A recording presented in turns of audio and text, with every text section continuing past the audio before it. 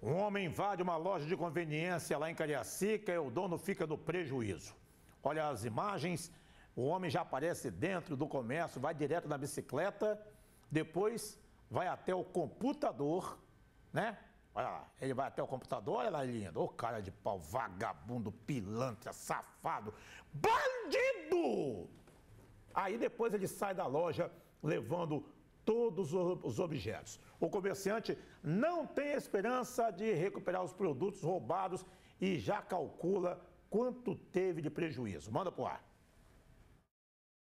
As câmeras de vídeo monitoramento flagraram a ação do criminoso. Ele já conseguiu forçar a porta de vidro e entrar no estabelecimento pega a bicicleta e outros objetos. A loja arrombada fica nesse posto de gasolina em Cruzeiro do Sul, Cariacica. O jovem que alugou o local para trabalhar contabilizou o prejuízo. Ele levou minha bicicleta, que eu deixava aqui.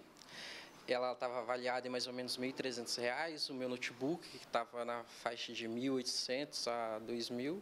É, e alguns produtinhos ali da prateleira. Se a gente for somar mais ou menos o prejuízo, vai dar em média 3, 4 mil reais, que é dinheiro, que é muito dinheiro para quem está abrindo seu negócio, para quem é empreendedor, para quem trabalha para si mesmo, para quem não tem patrão. E um detalhe, o Alano está aqui com essa loja há sete, oito meses mais ou menos, e ele ralou muito, durante muito tempo, na rua, vendendo, trabalhando, sol a sol, chuva a chuva, para poder abrir, ter o seu espaço aqui. Aí vem esse cara, achando que é uma cobra, que ninguém vai ver ele, e faz esse tipo de situação. 3 mil, 4 mil mais ou menos, é prejuízo. E dos grandes, para quem está começando. Pouco tempo de negócio, trabalhando, trabalhei na rua durante três anos. Aí, quando eu chego aqui, o que mais me machuca foi o fato de de ver meus produtos. O que mais me doeu não foi perder um computador de 2 mil, foi ver meus produtos baratos ali, as garrafinhas, os copos jogados no chão. Todo o meu sonho jogado ali.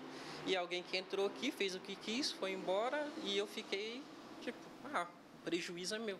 Alano já fez o boletim de ocorrência, mas não está esperançoso em conseguir recuperar o que foi levado. Eu sinto um sentimento de potência, sabe? Afinal, o que, que eu posso fazer agora? Ele simplesmente pegou tudo que ele queria aqui e eu não posso fazer nada. Eu não sei para onde ele foi, não sei quem é. E é a situação de todo brasileiro. Eu já fui assaltado diversas vezes antes, antes de ser lojista, indo trabalhar dentro de ônibus e nunca deu em nada.